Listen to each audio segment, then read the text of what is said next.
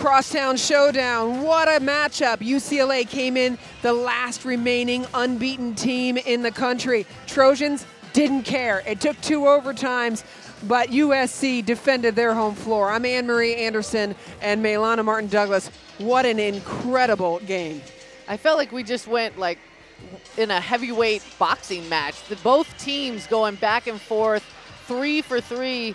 You see Dean hitting one, Aliyah Jeune, they think it's over at this point. Aliyah Jeune puts them up, and then Natalie Chou comes up with a huge three at the end of the first overtime right, to send it into the second overtime. Right at the buzzer for Jeune. She tied her season high with 27 points, second overtime, and no less exciting, and it was Jeune who started off with the steal. She did a great job of starting out fast. You think, oh, USC is going to run away with it. But again, it went back and forth. Alissa Pili, though, a big difference in that second overtime. She's able to hit her shots from down low. And at the end, USC just too much outlasts UCLA, just showing a ton of grit to pick up the W. Pili delivered her sixth double-double of the season for Aliyah Jeune, her first double-double or season high tied. As you take a look at the numbers, what story do they tell?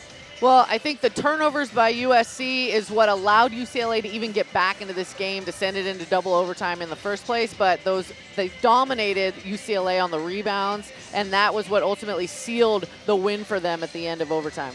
15 lead changes. It took two overtimes, but USC got their first conference win of the season and handed the Bruins their first loss on the year. There are no undefeateds left in collegiate women's basketball.